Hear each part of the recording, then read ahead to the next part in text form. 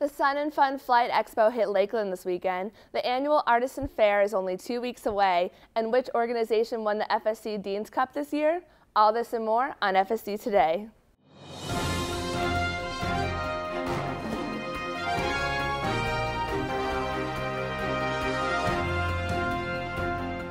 Good afternoon and welcome to FSC Today. I'm Katie McCabe. Today is April 9th, 2014. Our weekly newscast will keep you updated on the latest news, sports, and entertainment. Bikini season is on its way, and Go Healthy FSC takes a look at how you can get healthy and happy for summer. That time of year is coming again, the time of year that everybody is trying to get in shape for. Summer's almost here, meaning we're all hitting the gym twice as hard. I think all girls are a little nervous getting their bathing suits after winter. But if you're short on time, there are some quick workouts you can do from home or even your dorm room. They can be 10 to 15 minutes if they're just a really high intensity, and, and we have a lot of really neat protocols we use for that kind of thing. Before summer comes, I feel like a lot of people start working out extra hard, start eating a lot healthier, trying to get that beach summer body that they want so they can feel comfortable in their bikinis. Quick plyometric workouts can be very beneficial for the body a squat jump, you can do walking lunges, you can do push ups, you can do a plank, you can do sit ups. Being able to at least get quick workouts in each day can really help you feel better about your body and be confident when getting into your bikini. Just sort of changing from one thing to the next really gets your heart rate going. I live off campus, so I try to fit a lot of my workouts in between classes at home so that I don't have I don't always have time to go to the gym. The biggest thing is just to make it fun. I, I think it's really good to do it with people. It always helps you push yourself a little bit harder. There's no excuses on a rainy day to not work out when you can work out at home. To learn more on health, fitness, and nutrition, follow Go Healthy FSC on Twitter, Facebook, and Instagram. This weekend, students and residents enjoyed Lakeland's 40th annual Sun and Fun Flight Expo. The celebration boasted more than 500 vendors, including food trucks and an exclusive kids zone. Each day, a show of planes flew over Lakeland from 2.30 to 5 p.m. This year, Team Aerodynamics hosted a night show complete with fireworks. Even though the festival ended on Sunday, you can always visit the Sun and Fun Air Museum year-round. Explorations 5 Children's Museum is hosting their annual festival on April 12th to support their nationally recognized Week of Young Children. The event is attended by thousands from Lakeland and other cities nearby. It draws attention to the importance enhancing education through playful and interactive learning adventures. Volunteers are needed from 9:30 a.m. to 3:30 p.m. the day of the event and will be provided with water, snacks, and lunch. The fifth annual Artisan Fair is coming to Lakeland at Highland Park Church of Nazarene. It will be held on April 26 from 10 a.m. to 3 p.m. and admission is free. The festival will include over 50 art, craft, food, and game vendors. Some vendors include Tweets for Dogs, Mushy's Knit Palace, and PJ's Crafts World. For more information, visit lakelandartisanfair.weebly.com. Now let's check in with an update from David Tomczynski on our Moc athletic teams.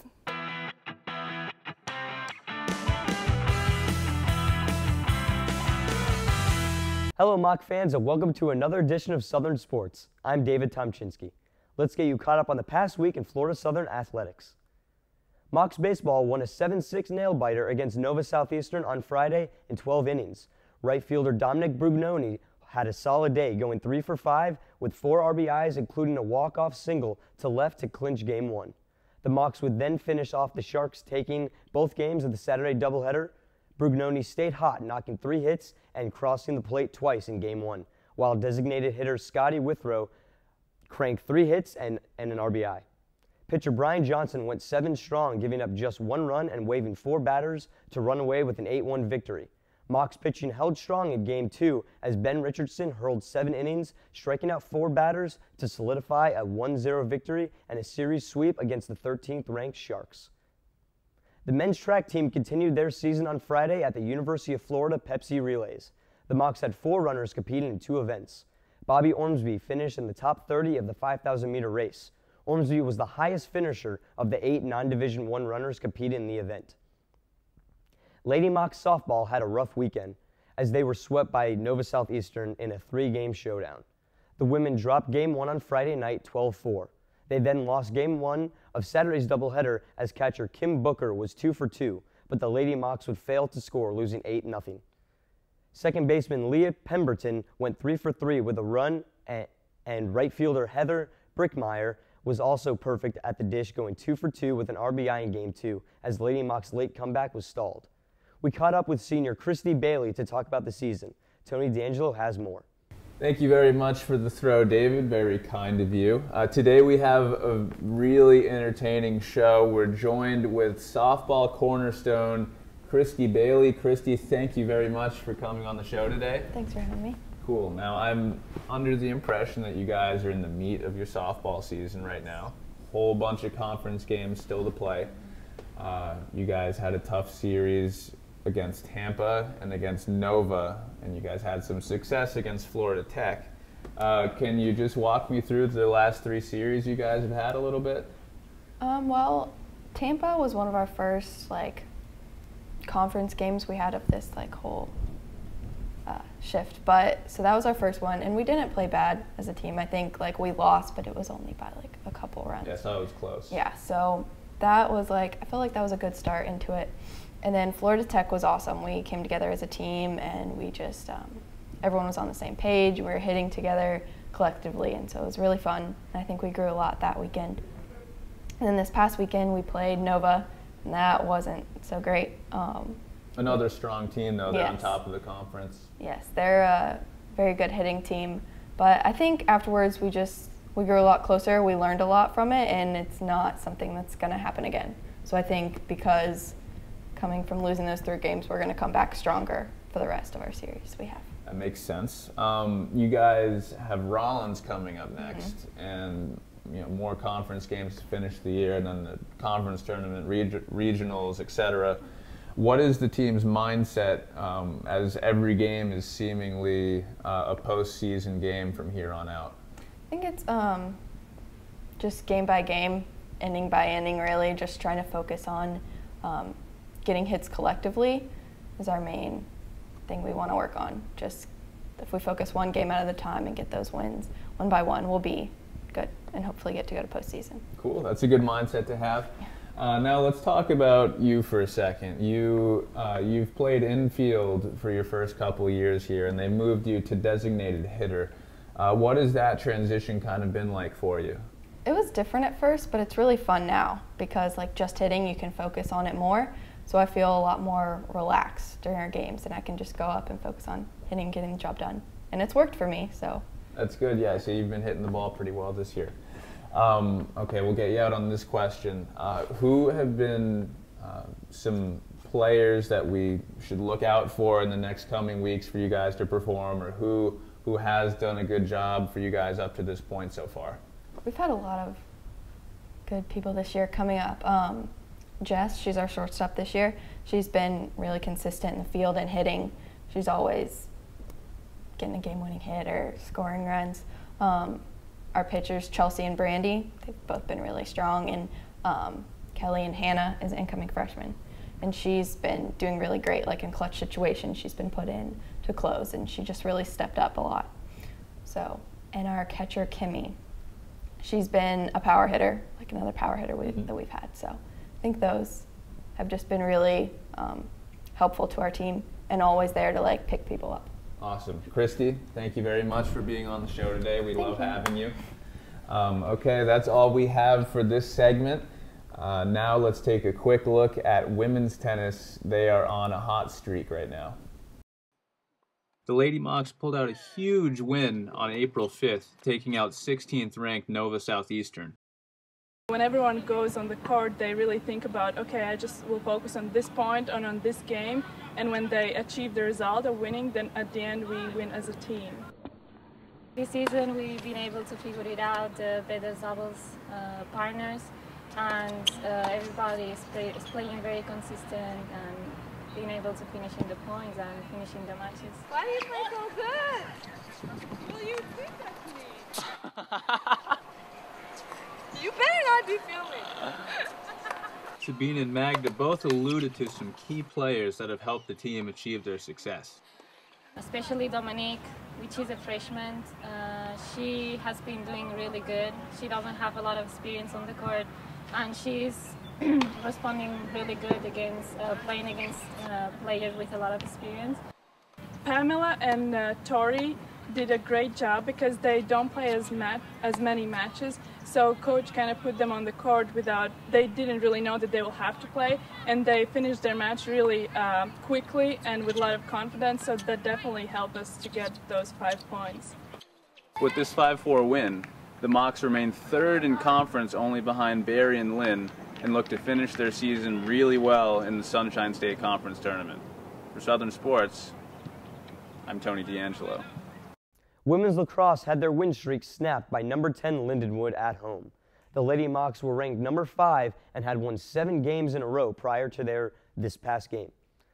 Junior Lorraine Hoover led the women with 4 goals and 2 assists. The Lady Mocs next game will be on the road against conference rival St. Leo. Men's tennis ended a two-match losing streak Wednesday as the Moccasins defeated Webber International in a non-conference match. With the victory, the Mocs improved to 9 and 8 on the season.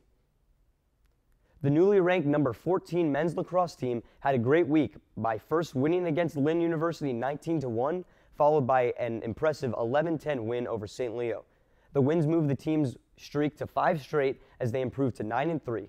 Their next game will be at home against Florida Tech. Be sure to go out and support all of your Moccasin athletic teams and follow us on Twitter at FSC Sports. For Southern Sports, I'm David Tomczynski.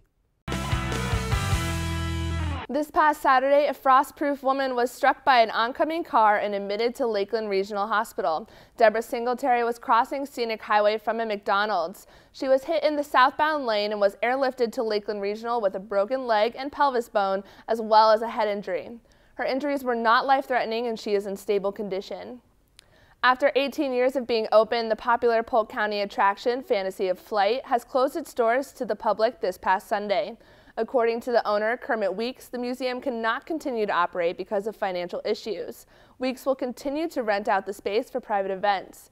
Customers who prepaid for a day trip or season pass to Fantasy of Flight will receive refunds through the company. In national news, a man jumped onto the tracks of the Chicago subway system this past week to save the life of a woman who had fallen onto the tracks. Eddie Palacios leaped onto the track and waved the, to stop the train from hitting the fallen woman. Thanks to Palacios' orange hoodie, the train spotted the pedestrians and was able to stop in time. Just four hours into her first shift as a 911 operator, a Georgia woman took a call and heard a familiar voice on the line. Her aunt was calling about her dad going into diabetic shock. The operator walked her aunt through the steps to save her dad's life, staying on the line with her until par paramedics arrived. In school news, the honor celebration last week recognized students for their work to the FSC community. Kyle Shadow has more. Student involvement hosted the honor celebration at Annie Pfeiffer Chapel on Thursday night. Awards were given to students and organizations for their work in the Florida Southern community over the school year. Awards included Best New Organization, Philanthropic Awards, and Fraternity and Sorority Life Awards. Some people were honored for being at the top of their field. I won the Florida Southern Male Resident Advisor of the Year award. Winning this award was kind of like a like a big pat on the back. It was being an RA this year, first year RA is very tough. You have to work really really hard and so knowing that first of all that I even got nominated for the award was was awesome. Um, and winning it was even better. It just kind of goes to show you that hard work pays off. I do a little bit more than what you think of at first when you think of an RA. When you think of an RA at first, you think of door decks, bulletin boards, programs. But the best part about being an RA is uh, just the connections you make with your residents. Zeta Tau Alpha won the most awards for the night, including the Best Philanthropic Event, Sorority Woman of the Year, the Dean's Cup, and the Rising Star of the Year. The recipient of the Rising Star Award um, the Rising Star Award is given to a freshman or sophomore under 60 hours um, who is seen in their organization as someone who is a rising star um, and someone that they see a great potential uh, leadership in. I think that there was a lot of people that were very deserving of this award, um, but I think that specifically I deserved to at least be a nominee for this award um, because of my passion that I have for Florida Southern um, and the passion that I have for my organization. For more information on the honor celebration or any campus events, contact the Center for Student Involvement and the band show. Thanks, Kyle. Remember to stay involved in the campus community to be nominated for next year's honors celebration. Thanks for joining us on FSC today. Be sure to tune in next week for the latest here at FSC and the community. Have a great day.